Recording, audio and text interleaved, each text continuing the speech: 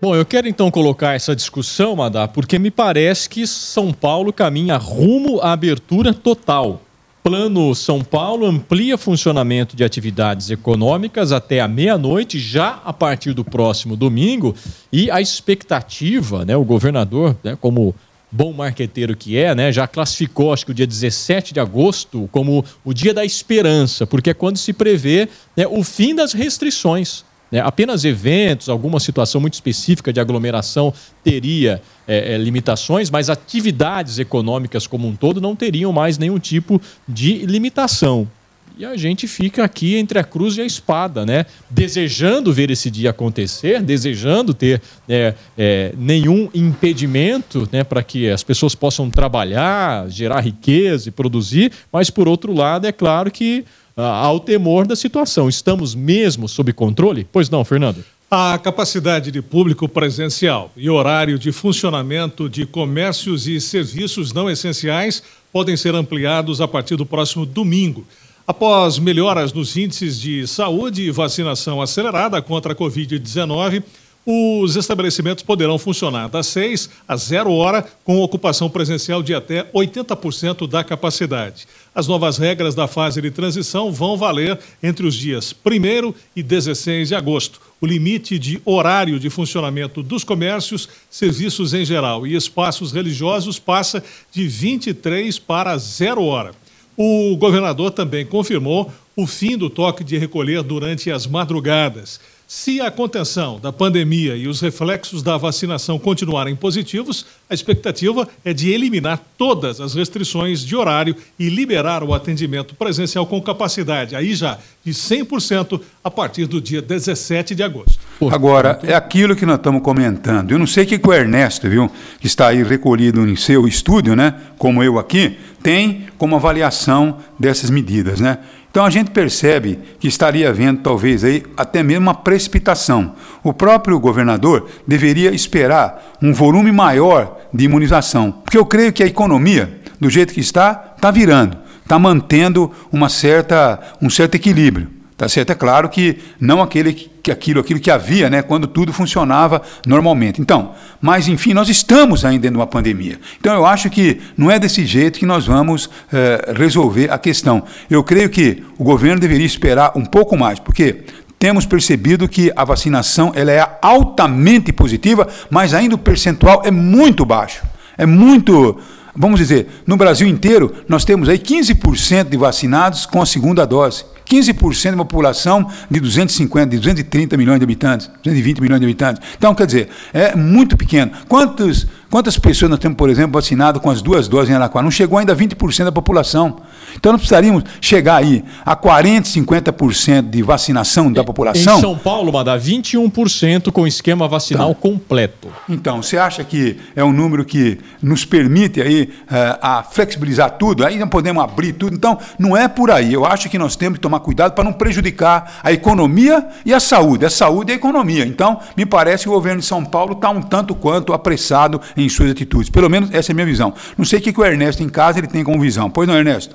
Ô, Madalena, ah, quando o marketing e a política se sobrepõem à ciência, nós temos um problema bastante sério, porque começa a se tomar decisões com base em paixões políticas ou mostrar quem vacinou primeiro toda a sua população para poder criar um, fa um fato em cima disso. É uma coisa muito prejudicial. Gostaria de lembrar que muito pior do que você não ter a reabertura total da economia, é você ter um repique na doença e voltar a níveis anteriores. É aquilo que a gente teme. Foi levantado aí na mesa, inclusive, quando falamos do fechamento de leitos, e se der uma voltada? Porque a gente gosta de ser otimista, mas nós temos que ser realistas. Eu prefiro abrir mais devagar, porque 80% é bastante, talvez um pouco menos, inclusive 60%, 70%, para que a gente possa fazer isso de maneira segura e não tenha que voltar a um lockdown, que seria uma coisa muito pior, que causa quebradeira, que atrapalha todo o empresariado, congela a economia, gera desemprego, é o que ninguém quer. E a gente vê no mundo todo que quem está errando, está errando por estar tá se precipitando. O índice de vacinação no Brasil é bastante baixo, se você levar em consideração qualquer tipo de índice.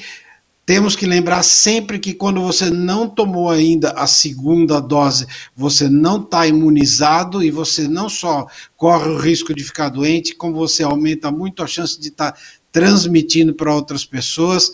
Eu gostaria de ter uma atitude um pouco mais cautelosa, que tivéssemos um pouco mais de base na ciência, um pouco menos de marketing. Como o Luiz Antônio lembrou bem, já criamos até o, o Dia da Liberdade, e não me espantaria se já tivesse até um logo, peças para colocar em outdoor.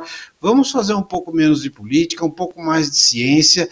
A pandemia já mostrou que ela é muito séria e para a gente sair dessa pandemia, temos que sair com responsabilidade e com distanciamento, com máscara, álcool gel e todas as precauções sanitárias possíveis. Luiz, eu sigo na mesma linha do raciocínio do Ernesto. Eu acho importante a gente trabalhar sempre é, com muita segurança, segurança sanitária e como a gente sempre defende, inclusive o governo Dória, sempre baseado na ciência. Eu disse aqui que aumentar de 40% para 60%, em torno aí de 20, 30 dias, já era um risco. A gente deveria estar com a capacidade de ocupação dos estabelecimentos em 50%, mas o governo de São Paulo já amplia para 80% e prevendo já 100% de ocupação. Então, eu vejo que é precipitada essa decisão, vejo sim que há um, um, posicionamento muito carregado de marketing do governo de São Paulo. João Dória é um marqueteiro, a gente sabe disso, sempre atuou na mídia, foi apresentador de programas de TV e, claro, que ele usa essa estratégia também em relação à vacina. É um fator positivo? Antecipar a vacinação, já debatemos em outras oportunidades, é, mas até para antecipar a vacinação você tem que trabalhar com um cronograma seguro, pensando no alinhamento com outros estados, porque, como disse o Madalena, o Brasil tem 18% da taxa da população brasileira vacinada, imunizada, com as duas doses. 18%. É baixo ainda. Então vamos trabalhar com cautela. Você sabe que eu analiso essas questões envolvendo a vacina como uma situação que parece que a gente assiste e não aprende algumas coisas. A pandemia, o vírus de modo geral, nos ensina a cada dia algumas lições importantes. A gente não sabe tudo do vírus ainda. Eu vejo que muitas vezes a precipitação acaba fazendo com que as pessoas incorram em erros que poderiam ser evitados. Por exemplo, a gente já viu em alguns momentos o que situações acontecendo na Europa e que surtiram um efeito importante e que tentaram ser replicadas no Brasil. De, de, dessa forma foi até positivo. Agora, eu estou vendo exemplos de um jeito negativo que estão acontecendo mundo afora, numa condição diferente do Brasil, e que também estão tentando ser replicadas. Por exemplo, dá só um exemplo para entender um pouco o que eu estou dizendo. Você está vendo alguns países já fazendo uma flexibilização muito grande. Só que existe uma diferença fundamental. É o caso, por exemplo, da Europa, é o caso dos Estados Unidos, onde o número de pessoas vacinadas ou totalmente imunizadas é bastante alto. O Brasil não vive essa realidade.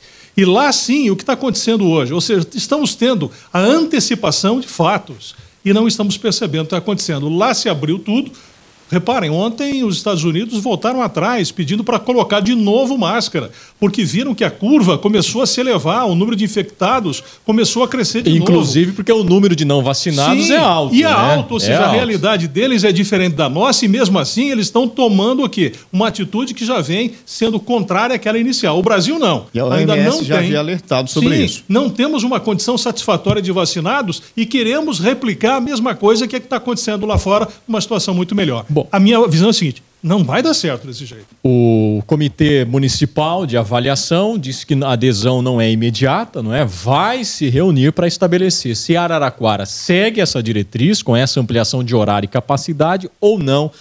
Aguenta mais um tempinho aí para ter mais segurança no cenário.